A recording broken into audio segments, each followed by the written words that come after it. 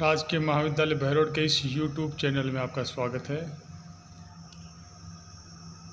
BCom part third के प्रथम प्रश्न पत्र एफ़ के ग्रामीण विकास और सहकारिता में आज हम पढ़ेंगे ग्रामीण विकास व्यूह रचना और इसमें ग्रामीण विकास के जो ज्वलंत मुद्दे हैं उन पर चर्चा करेंगे। तो जो वर्तमान में बड़ा मुद्दा है, जिसका कोई हल नहीं है। वह है सूखा ड्राउट जब किसी क्षेत्र में वर्षा बिल्कुल न हो अथवा औसत से भी कम हो तो उसे सूखे की संख्या दी जाती है। सूखे के कारण पीने के पानी की कमी हो जाती है, फ़सलें नहीं बोई जा सकती हैं, और जिन स्थानों पर भयंकर सूखा पड़ता है वहाँ से जनधन पलायन कर जाता है। पशुओं के साथ जो जनता है, वह पानी वाली जगह पे चली जाती है। हम देश की बात करें तो जो राज्य हैं कुछ, जिनमें बार बार सूखा पड़ता रहता है, उनमें राजस्थान, गुजरात, उड़ीसा, मध्य प्रदेश, झारखंड, छत्तीसगढ़, आंध्र प्रदेश तथा तमिलनाडु हैं। और इन्हीं राज्यों के कुछ ज़िले हैं, जिनमें भी हमेशा सूखा पड़ता रहता है। उनमें शामिल हैं बाड़मेर, जैसलमेर, बीकानेर, जोधपुर, कालाहांडी, पलामू, बस्तर, चतरा लोहरदगा ये ज़िले हैं। इनमें बार बार अकाल पड़ता रहता है। अब हम देखेंगे सूखे की परिभाषा। सूखे की परिभाषा है उसको तीन तरह से परिभाषा दी गई है। पहली परिभाषा है, वो भारतीय मौसम विज्ञान संस्थान इंडियन मेट्रोलॉजिकल डिपार्टमेंट आईएमडी ने दी है। और इसके द्वारा दी गई परिभाषा सूखे की मौसम विज्ञान संबंधी परिभाषा कहलाती है। परिभाषा इस प्रकार है, यदि किसी मौसम विज्ञान उपखंड में दीर्घकालीन औसत से 25 परसेंट या इससे अधिक मात्रा में वर्षा की कमी रहती है तो इसे मौसमी सूखा कहा जाता है। और यदि वर्षा की कमी 50 परसेंट से अधिक रहती है तो इसे भयंकर सूखे की श्रेणी में रखा जाता है।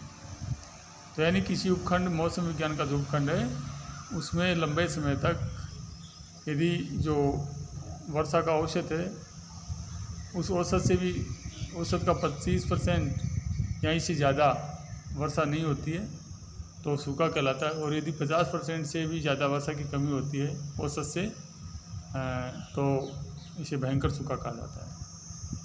अब हम चर्चा करेंगे जो दूसरी परिभाषा है, उसके ऊपर दूसरी है जल विज्ञान संबंधी सूखा हाइड्रोलॉजिकल ड्राउट यह वह स्थिति होती है जब लंबी अवधि के मौसमी सूखे के कारण सतही जल समाप्त हो जाता है और भूमिगत जल के स्तर में भी कमी आ जाती है जिसके कारण पशुधन और मानवीय आवश्यकताओं के लिए पानी की भयंकर कमी हो जाती है। तो जल विज्ञान संबंधी जो सूखे की परिभाषा है, वह मौसमी सूखे के ऊपर आधारित है, जो मेट्रोलॉजिकल ड्राउट है, उसके ऊपर आधारित है। तो मेट्रोलॉजिकल डिपार्ट जो परिभाषा दी गई है ड्राउट की, उसमें बारिश लंबे समय तक नहीं होती है। तो उसी की वजह से जो जल विज्ञान संबंधी सूखा उत्पन्न होता है। क्योंकि बारिश नहीं होने से जल स्रोतों का, जल सूख जाता है और जो भूमिगत जल है, वह भी नीचे चला जाता है। अब हम तीसरी जो परिभाषा उसके ऊपर फोकस करते हैं, जिसको कृषि संबंधी सूखा कहा गया है। भयंकर मौसमी सूखे के कारण लगातार चार सप्ताह की अवधि, जिसमें दीर्घकालीन वर्षा की औसत का 50 परसेंट से अधिक मात्रा में वर्षा की कमी रहती है, अथवा खरीफ के मौसम मध्य मई से मध्य अक्टूबर तक में साप्ताहिक वर्षा जो है, पाँच सेंटीमीटर या इससे भी कम रहती है। और वर्ष के शेष दिनों में यदि ये स्थिति लगातार छः सप्ताह तक रहती है तो इसे कर कृषि सूखा कहा जाता है। अब हम बात करेंगे कि जो सूखा है, उसे वो कौन घोषित करता है?